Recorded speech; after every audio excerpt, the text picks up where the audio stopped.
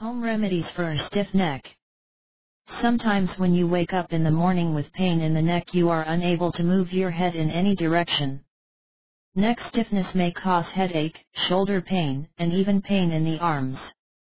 The best way to get rid of a sore neck is to try simple home remedies which work really well. Moving head.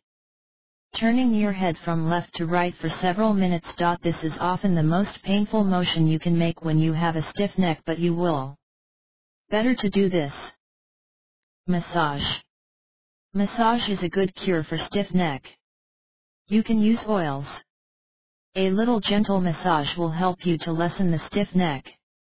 This in turn will help reduce the stiffness. Moreover, it will help you sleep better.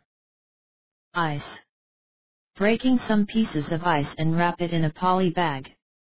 Now, cover the stiff part of neck with a small cloth or towel, then place the wrapped. Ice is really useful for stiff neck pain relief. Hot bath. Take a hot bath to relax your muscles. Gently warm some coconut oil. Apply the oil on the affected area. Heating pad. Place a heating pad over your sore neck. It is a useful remedy which will increase the blood flow while decreasing the stiffness of the neck. Shut windows.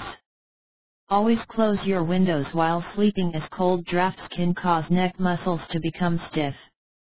Cover your neck with light scarf when the weather is cool.